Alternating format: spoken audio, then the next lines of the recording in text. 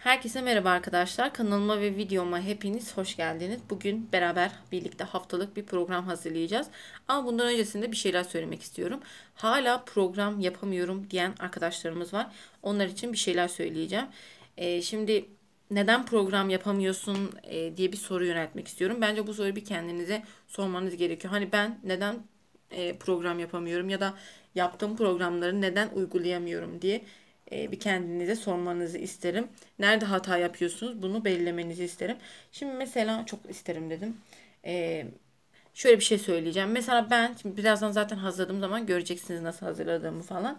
E, kendimi çok iyi tanıdığım için bir gün içerisinde neler yapabilirim, neler yapamam bunlar çok iyi bildiğim için sınırımı e, buna göre programımı hazırlıyorum. Ama bazı arkadaşlarımız var mesela şey yapıyorlar. İşte e, bir güne 2-3 tane konu ya- yazıyorlar falan. Ee, belki sen bir günde 2-3 tane konu değil de sadece bir tane konuyu bitirebiliyorsun. Belki de 4-5 tane konu bitirebiliyorsun. Hani bunu bilmiyorum yani her her insan için bu durum farklı olabilir. Bu yüzden işte bu aşamada aslında kendinizi e, biraz fazla iyice tanımlamanız gerekiyor. Siz e, çalışma durumunuzu sizden daha iyi kimse bilemez. Mesela ben birazdan program hazırlayacağım. Mesela şey diyenleriniz olacaktır mutlaka. İşte ben program hazırlamayayım de senin hazırladığın aynısını ben kendime uygulayayım diyenleriniz olacaktır. Ama böyle yapmayın. Çünkü benim programım e, size uymayabilir. Çünkü ben mesela bir günde 2-3 tane konu çalışıyorum diyelim. E, siz belki 2-3 tane çalışamıyorsunuz. Belki daha fazla çalışabiliyorsunuz veya belki daha az çalışabiliyorsunuz. Bu yüzden kendinizi iyi tanımanız gerekiyor. Yapabileceklerinizi e, ve sınırınızı iyi bilmeniz gerekiyor. Ona göre program hazırlamanız lazım. Mesela diyelim ki pazartesi gününe e, kendinizi iyi tanımadınız. Farz edelim ki. Pazartesi gününe yazdınız, kuruluş dönemini yazdınız, işte coğrafyadan yer şekilleri yazdınız, işte matematikten bilmem bunu yazdınız. Yazdığınızda yazdınız. Salı günde yazdınız öyle çarşambada. Dolu dolu bir program hazırladınız kendinize. Ama e, pazartesi günü bir tane iki tane konuyu bitirebildiniz. O diğer bir tane konuyu mesela üç konu diyelim. Bir tanesini bitiremediniz. Ne oldu? Salıya geçtiniz. E, Salı günün üç tane konusu var. Bir de bir gün öncekinin bir tane konusu var. Dört tane konu etti. E, iki, iki tane konuyu bitirdiniz. E, ondan sonra iki konu yine kaldı. Çarşambaya bu sefer beş konu oldu. Bu sefer çarşamba günü ne yapacaksınız biliyor musunuz? Pes edeceksiniz. Bırakacaksınız çalışmayı. E, çünkü önceden yap hem pazartesi günden eksiğiniz var hem salı günden eksiğiniz var. E, bir de çarşambanın günü zaten üç tane konu hepsi üst üste birikti birikti birikti. Ne oldu? Çalışmayı pes ettiniz. E, sonra diyorsunuz ki üf perşembe gününe neyse çalışmayayım da pazartesi günü yeni bir program hazırlayayım tekrardan başlarım ama ne olacak falan. Böyle diyorsanız eğer demeyin. Sonra da diyorsunuz ki program hazırlayamıyorum. İşte bu yüzden program hazırlayamıyorsunuz. Kendinizi birazcık iyi tanımanız lazım. Ne kadar yapabiliyorsanız o kadar yazın. Daha fazlasını yazmayın. Yani kendinizi biraz zorlamak istiyorsanız adım adım zorlayın. Mesela bu hafta işte normalde haftada kaç tane konunu bitiriyorsunuz? Diyelim ki işte 10 tane konu bitiriyorsunuz. Kendinizi zorlamak mı istiyorsunuz? O zaman o haftaya 12 tane konu yazın. Pazartesi günün bir tane konusu fazla olsun. Salı günü normal olsun. Çarşambanın bir tane fazla olsun. Yani böyle hani ee, dediğim gibi kendinizi zorlamak istiyorsanız aşama aşama zorlayın. Böyle bir seferde yapmayın. İşte 10 tane konu bitiriyorsanız sonra 12 yapın. Bir sonraki hafta 13 konu yapın. Bir sonraki hafta 14 yapabilirsiniz bilmiyorum. E, yapın yani. Ad, e, kademe kademe yükseltin. Bir seferde yükseltmeyin. O zaman yapamazsınız. Pes edersiniz. Motivasyonunuz da düşer. Sonra da dersiniz ki ben program yapamıyorum. Ben çalışamıyorum diye düşünürsünüz.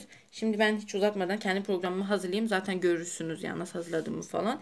E kendimi daha ben kendim benden daha iyi hiç kimse bilemez, hiç kimse tanıyamaz. Bu yüzden kendimi en iyi ben bilirim. E, kendi sınırıma göre program hazırlayacağım. Daha fazlasını eğer yazarsam ne olur? Benim de motivasyonum düşer. Yani elimizde olan bir şey değil. Bu durum böyle yani. Motivasyonu düşmeyen var mıdır? Onu da bilmiyorum. Şimdi ben biliyorsunuz bilmi biliyorsunuzdur. Bilmeyenler için tekrar söyleyeyim. E, 3 saat matematik, 3 saat tarih her gün 3 saat matematik, 3 saat tarih çalışıyorum. E, neden böyle yapıyorum diye soracak olursanız hem tarihi çok unutuyorum hem de matematiği çok unutuyorum. Yani normalde matematik aslında çok fazla unutan bir insan değilim. Yani matematik mesela e, liseden ben kaç yıldır liseden mezunum? 2014'te mezun. 6 yıldır liseden mezunum. E, 6 yıl olmuş ya inanamıyorum. O zaman ne kadar çabuk geçiyor ya. 6 yıldır liseden mezunum.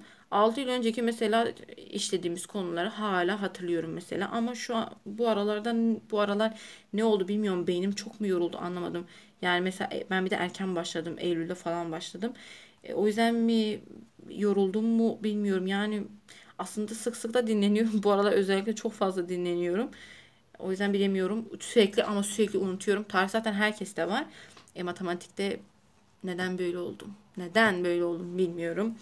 E, bu yüzden ağırlık veriyorum. Diğer konu derslerden çok fazla şey yapmıyorum. Zaten coğrafyam iyi benim. E, normalde de iyiydi. Şimdi iyi dermişim. En, en fazla yanlışı coğrafyadan yaparmışım. Olur ya öyle şeyler. Neyse uzatmadan başlayalım. 3 saat tarih, 3 saat matematik her gün düzenli bir şekilde çalışıyorum. Ee, benim bir de takip edenleriniz, önceki videolarımı izleyenleriniz bile her hafta program değiştiriyorum. Yani öyle çok bana takılıp kalmayın derim. Çünkü bilmiyorum her hafta yeni yeni fikirler e, geliyor aklıma. Geçen hafta bunu uyguladım. Bu hafta da bunu uygulayacağım. Ama ben bunu sevdim. Bilmiyorum her hafta her videomda aynı şeyi söylüyorum. Bunu sevdim. Bu, bu son olacak falan diyorum ama yine de o son olmuyor. Neyse hemen bakalım. E, şeyde tarihte kuruluş ve yükselme döneminde test testlerim var. Hem burada hem diğer kitapta. Burada var mı bilmiyorum. Ya belki de yoktur da üstünü çizmemişim. Şu anda sadece başlıktan bakıyorum. E, kuruluş ve yükselmenin yazayım. Kuruluş, yükselme, testler. Yani bu testler çok ben zaten hızlı çok fazla yani çok fazla demeyeyim de aranızda öyle olanlar da vardı. Yani hızlı test çözdüğüm için soruları biz bir dakikada e, tarih sorusu olarak 3-4 tane soru çözüyorum. Bu yüzden yani çok çabuk bitiririm. Yarım saatte biter bunlar benim için. Hemen bir sonraki konuya neymiş? Duraklama ve gerileme dönemi. E, hepsini mi çalışsam? Neyse duraklama ve gerileme diyelim. Bugün duraklama, gerileme. Şu anda saat kaç? Bir saniye bakayım. Hmm, saat. Bir dakika bakmam lazım. Telefon Allah'ım. Saat şu anda 3.30. Ben 3.30'a kadar temizlik yaptım. Hala temizliğim aslında bitmiş değil ama bugün bu kadar dedim. Yarın da devam ederim artık nereden kalmışsam. Ee, o yüzden şey 3 saat çalışamayacağım bugün. 2 saat diyeyim ben en iyisi. 2 saat tarih, 2 saat matematik diyeyim. 2 saat de Türkçe diyeyim bugüne. Şimdi bir gün Türkçe çalışıyorum. Mesela tarih matematik ekstra yanında. Bir gün Türkçe, işte bir gün coğrafya, diğer gün geometri. Vatandaşlığı çıkarttım. Bu hafta vatandaşlık hayatımdan tamamen çıkartıyorum bu hafta. E, çünkü sürekli unutuyorum. Sürekli tekrar etmek zorunda kalıyorum. Yani vatandaşlar öyle çok fazla hani e, kitaplar bir sürü kitap bitireyim de onun derdinde değilim yani. Çünkü tekrar etmek benim için daha önemli diye düşünüyorum. E, son 2 ay kala sınava 2 ya da 3 ay kala falan o zaman vatandaşlar yeniden başlayacağım. Şimdi vatandaşlık defteri benim için kapanmıştır.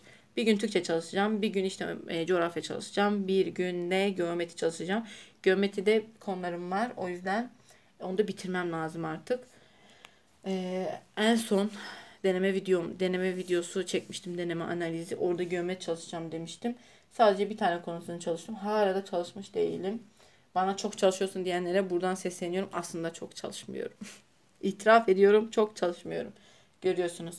Bugün duraklama ve gerileme dönemini yazdım. Ee, ancak videolarını falan izlerim. Tekrar ederim. 2 saatte ancak bir de yarım saatlik test çözmem var. Yani duraklama gerileme yarına da kalacak mesela. Ne yaptım? Kendimi burada iyi tanıdım. Onun için duraklama ve gerilemeyi tekrardan salı gününe bir daha yazacağım. Yazayım hatta hemen. Bugün kendimi çok sıkmıyorum. Çünkü bitiremeyeceğimi biliyorum. Kendimi çok sıkmama gerek yok. Şimdi ben bugün bunu bit mesela bitirelim, bitireceğim diyorum. Yarına başka bir konu yazacağım. İşte dağılma dönemini yazacağım. Kültür ve uygarlık yazacağım. E bitiremeyeceğim. Sonra onu kültür ve uygarlıkla zaten bir ton konu. Onlarla bir birikecek, birleşecek yani. Çok fazla dağ gibi olacak. O yüzden çok fazla kasmaya gerek yok. E, matematikte ne çalışayım? Matematikte bir saat problem çalışmam lazım bir saat problem karışık çalışacağım. Çünkü mesela e, sayı ve kesir problemlerini diyelim çalışıyorum. Ama neyse ya her gün bir tane çalışayım değil mi? Bugün sayı ve kesir çalışayım birazcık. Sayı ve kesir. Problemleri. E, Türkçeden de ne çalışsam bakayım. Aa, Türkçeden şu kitaptan bitirmiştim de şuradan ne yaz çalışayım. Sözcükte ve söz ebeklerinde anlam diyeyim. Cümlenin anlamı ve yorumu diyeyim. Evet iki tane iki saat bunlar bana yeter. Sözcükte anlam bir de ikinci. Şöyle kısa kısa yazayım sonra tekrar düzenlerim ben bunu. Gelelim salı gününe. Salı günü duraklama ve gerilemeyi tekrardan yazmış yazdım. Ama 3 saat tarih vardı. Bunun içerisinde bitirir miyim?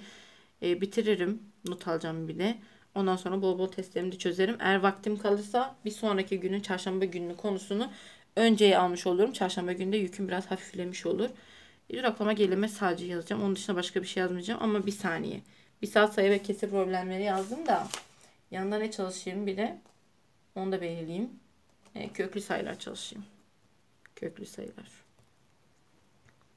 Matematik. Bir saat evet neyse. Salı gününe geçtik. Çok fazla karıştırmayayım. Duraklama ve şu anda sizinle sanki sohbet ediyormuşum gibi hissediyorum. Yani bilmiyorum bu video sanki biraz öyle oldu benim için. Sizin için nasıl oldu bilmiyorum. E, 3 saat evet 3 saat matematik içerisinde bu sefer ne çözeyim? Hareket problemlerini çözeyim. Aynen hareket uzun zamandır çözmüyorum ya. Hareket problemleri çözeyim. Bir saat, bir buçuk saat falan çözerim. Onun dışında ne çözeyim? Üssü ve köklü sayıların birleşim testleri var. Onları çözeyim. Ama bu test yetmez. Tabii de denklemler çözeyim. Ee, coğrafya vardı bir de bugün. Bakalım coğrafyadan ne çözeceğim. Kitabıma bakıyorum. İklim. İklim de bayağı da çalışmıyorum ya. Hep yeryüzü şekillerini çalışıyorum. Sonra nüfusa yerleşmeye geçiyorum. O iklimi nedense atlıyorum her zaman. Neyse iklimi detaylı bir şekilde çalışayım. Geçtik çarşamba gününe. Çarşamba gününe Ay bir an şey söyledim ya acaba bugün salı mı dedim. Allah'ım kafayı yiyeceğim. Ne çalışayım? Dağılma ve kültür ve uygarlık. Dağılma, kültür ve uygarlık. Sos şey sosyal bilgiler diyorum ya. Allah'ım neler söylüyorum. Osmanlı Devleti'ni çok seviyorum. Kültür ve uygarlık. Matematikte ne çalışayım? Matematikte de işçi ve havuz problemleri. Aslında işçi ve havuz problemi geçen çözmüştüm de diğer kitaptan çözmüştüm. Bunu çözmemişim. Havuz problemleri çözeyim. Sonra ne çözeyim? Birazcık da kümeler çözeyim ya. Matematikte kafama göre. Yani sıralı bir şekilde gitmiyorum. Kafama ne eserse onu çalışıyorum işte. Bir de geometri var. Evet. Geldik geometriye. Ne çalışacağım? Doğruda açılar. Hem video izleyeceğim. Aslında bunu videosunu izlemiştim de bir daha izleyeyim. Gelelim Perşembe gününe. Kültür ve uygarlık. E, hem dağılma ve kültür ve uygarlık biraz uzun bir konu. O yüzden biteceğini düşünmüyorum. Perşembe gününe sadece kültür ve uygarlık yazıyorum. Bakın kendimi nasıl iyi tanıyorum. Değil mi? O yüzden kendimi çok fazla sıkmıyorum. O 3 saatte bu inşallah biter. Testlerim falan da var. Bakalım. Bitiririm inşallah. Matematik ne çalışalım? E, yüzde faiz karışım. Aynen. Çok seviyorum ya matematiği. Yüzde faiz karışım. Ondan sonra çözeyim? Ondan sonra bakayım bakayım bakayım. Aynen kümeleri çözmüştük. İşlem ve fonksiyonlar. Fonksiyonları da çok severim. İşlem ve fonksiyonlar. Aslında ben matik'i daha çok severim. Bu yüzden bir dahaki sene sınava gireceğim. YKS tayfası. Bekleyin beni. Cuma gününe ne çalışayım? Ee, Osmanlı yenileşme tarihi. Aynen onu çalışayım. Yenileşme. Bir de 20. yüzyılda çalışacağım. Aynen. Sonra ne çalışayım? Bakalım. Problemleri bitirdik bu hafta. Tekrardan başa döneyim. Ay bak yaş problemleri hiç yazmadım. Bu müfredatta yok diyorlar. Yani var mı yok mu onu da bilmiyorum. Yine de çalışıyoruz. Yaş problemleri en kolayı. Ondan sonra çalışayım? Ay çok güzel bir konu çalışayım. Çarpanları ayırma. Matematiğin her konusunu ayrı ayrı seviyorum. Bir de oran orantı çalışayım. Oran orantı hiç sevmiyorum ya. Bir de EBOB ekok sevmiyorum. Bari bir diğer güne de EBOB ekok vereyim. Oran orantı. Ay bir saniye. Perşembe günü şey yapmadım. Tekrardan Türkçe çalışacağım Perşembe günü. Onun hangisinin olduğunu yazmadım. Yazayım hemen. Yazım ve noktalama çözeyim. Yazım ve noktalama. Evet, Cuma günü de tekrardan coğrafya çalışayım. Coğrafyada ne çalışayım? Hemen bakıyorum. Sadece bu kitaba bakıyorum ama diğer kitapta da ne de olsa konular aynı. Başlıklar ne de olsa aynı. Ne çalışayım? Ekonomi. Çalışayım bakalım. Türkiye'de ekonomi. Ekonomi. Neyse bu kadar. Cumartesi gününe de haftalığımı tekrarımı yapalım. Haftalık tekrarımı yapayım. Çok fazla sıkmayayım. Pazar günü zaten tatil veriyorum kendime. Yani aslında bilmiyorum bana şey söylüyorlar işte çok fazla ders çalışıyorsun falan diye çok mesaj alıyorum. Aslında ben çok fazla çalışmıyorum. Yani çünkü haftanın mesela iki günü cumartesi pazar cumartesi biraz daha seyrek çalışıyorum. Pazar günü mesela hiç çalışmıyorum. E, o yüzden hafta içi birazcık daha böyle hani fazla tutuyorum. Mesela şimdi e, dikkat ettiyseniz 3 saat tarih, 3 saat matematik ve 3 saat yanında ekstra bir ders yani 9 saat. İşte e, paragraf ve sözel mantık da var. 9,5 saati bulur yani. 9,5 saate çıkartmışım. Saate. Konuşamadım. E, çünkü mesela cumartesi pazar çalışmış olsaydım 9 saat çalışmazdım. Niye? Çünkü cumartesi pazarım da var ne de olsa. Bakalım bu hafta sonunda aslında bu hafta şey mi denesem ya? Neyse bir dahaki hafta şey deneyeceğim. Haftalık e, her günümü çekeceğim neler çalıştığımı falan hatta gösteri. Yani haftalık bir vlog çekmek istiyorum. Bakalım haftaya bunu yaparım inşallah. Bugünü geçtik artık pazartesi günü çekmedim. E, Salıdan başlayabilir miyim bilmiyorum. Belki de yandan itibaren çekerim. Onu da bilmiyorum. E, videonun buraya kadar izlediyseniz çok ama çok teşekkür ederim. Benim için böyle sohbet ediyormuş gibi. Zaten kendi kendime konuşuyorum evde. Ama siz karşımda sizi hayal ederek yani şey konuşuyorum.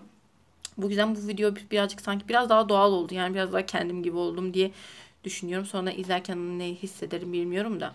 Biraz böyle sanki sohbet ediyormuş, muhabbet ediyormuş gibi hissettim.